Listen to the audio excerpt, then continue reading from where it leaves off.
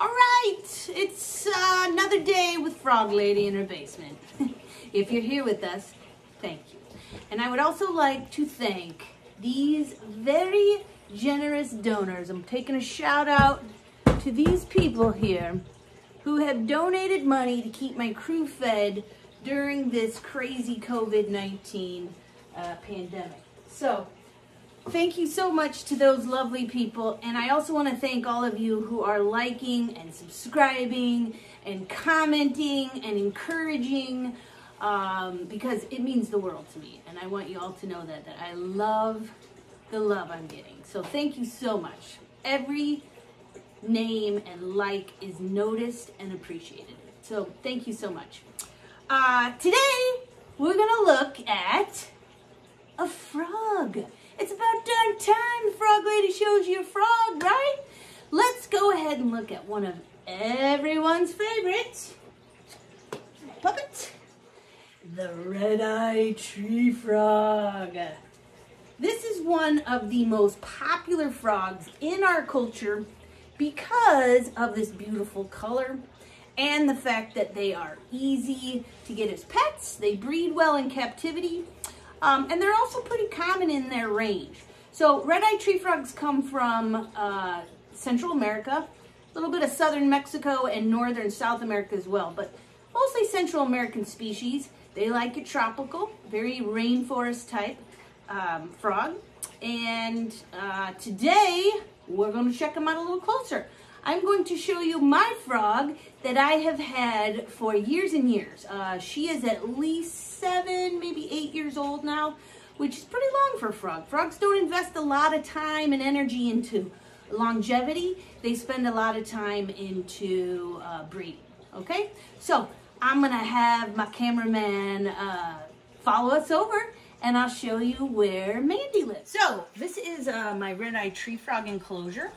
Uh, this is a cage that's specifically made for tree frogs, which is really nice. Uh, you know, you want more of a vertical tank instead of horizontal when you're housing tree frogs because they like to be, uh, they like the height more than uh, length. So, um, do you see her? Does anyone see the frog? Sometimes you can look in her enclosure and you can't find her. Um, and that's true in, in a lot of my frogs cages. Um, I like my frogs cages to be very natural.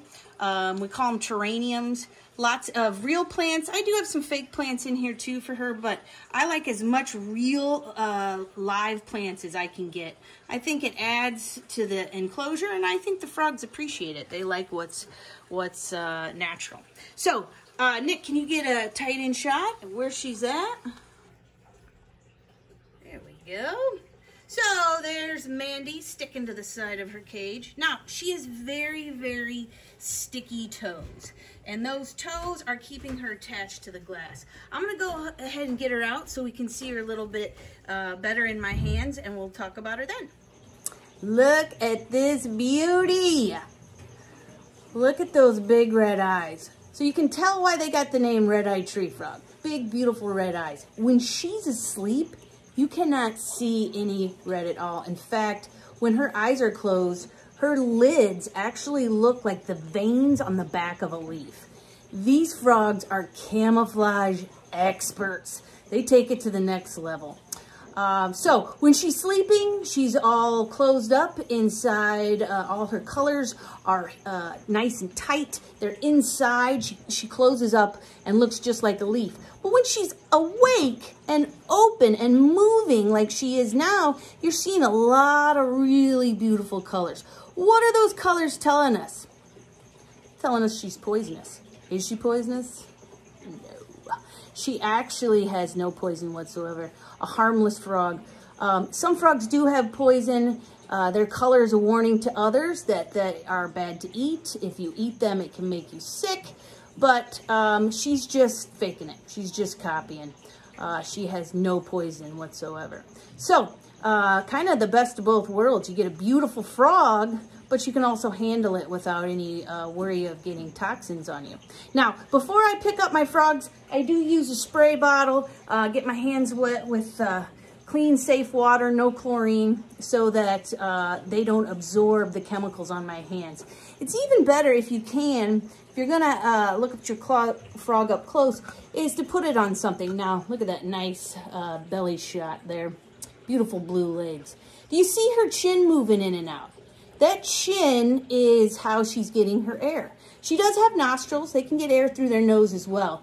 But a lot of amphibians get their air through their skin. Um, and that that nice uh, that nice beautiful moist wet slimy skin is there to help them uh, to help them breathe so um, because they absorb water through their skin they absorb their oxygen through their skin it also means that they can absorb chemicals through their skin that they don't want so your hands have oils and and salts and other chemicals it's really best to leave uh, leave your frog um, as little handled as possible, just because um, you really can get give them a lot of uh, poisons from your own hands. It's almost like you're the poisonous one. All right. So, uh, what do frogs do um, as uh, babies? Well, tree frogs, uh, like the red-eyed tree frog, actually lay their eggs on leaves. The leaves um, are hanging right over the stream. Once these eggs hatch, and you can see these eggs here are getting um, more developed. Once it's hatching time, they plop right down into the water and go through their tadpole stages. Back legs are gonna come out uh, first, then front legs, and then the tail is absorbed. It doesn't fall off. Nature doesn't waste. The tail shrinks and is absorbed by uh, the frog's body. So it's kind of like going on a diet. They actually absorb a lot of that food um, that during that time and they don't have to eat. So, okay. Well, I hope you enjoyed the red-eyed tree frog. Um, I guess one more thing I got to put out there for my friend Tony. Uh, this frog, when it sings, sounds like you, uh, a lot like you, buddy. My friend Tony laughs like this. Ah, ah, ah. And that's what my frog does too. So, um, she's a female. She's not singing. The boys, the ones who are singing, they're singing to the girls um, and it's during breeding season. So unfortunately, I don't ever hear her make the Tony sound, but if you want to look it up on a YouTube video, that's the sound they make. So I hope you enjoyed it. Uh, I think uh, this uh, coming Friday, I just ordered a lot of insects and crickets, things that I love to feed to my critters. Um, so I think that'll be our next video. I'm going to show you guys how, uh, how you, if you see a shaking, it's because my kid's playing with the bucket. It's so hard to be calm here. Uh, anyway, um, I'll see you guys on Friday with some bugs. All right? Thank you. Bye-bye.